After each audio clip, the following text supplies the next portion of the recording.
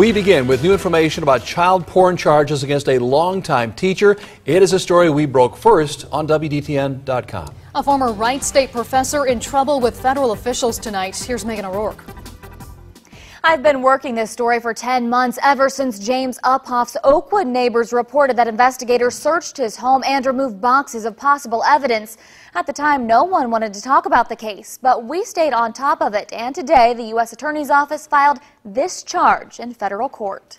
James Uphoff has gone from the classroom to the courtroom. This afternoon, the U.S. Attorney's Office filed one count of possession of child pornography against the retired Wright State professor and longtime Oakwood School Board member. A spokesman for the U.S. Attorney's Office tells me the charge stems from an FBI search warrant executed at Uphoff's Oakwood home last September.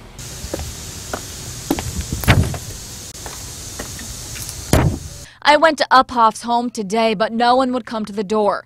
Uphoff has not been arrested, but is expected to make his first court appearance on the charge sometime in the next two weeks.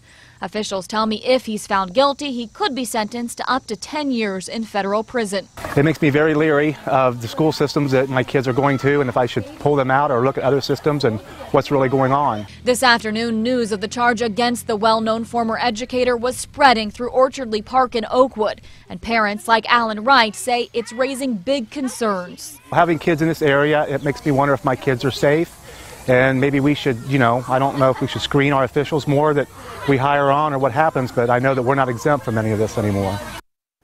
Now, a phone conference between the judge, a federal prosecutor, and Uphoff's lawyer was scheduled for this afternoon, but canceled at the last minute due to what I'm told was a clerical error.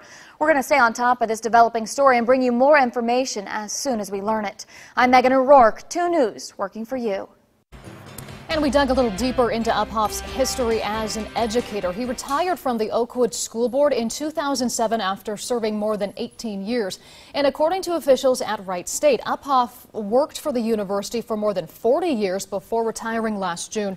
He was one of the first professors the school ever hired.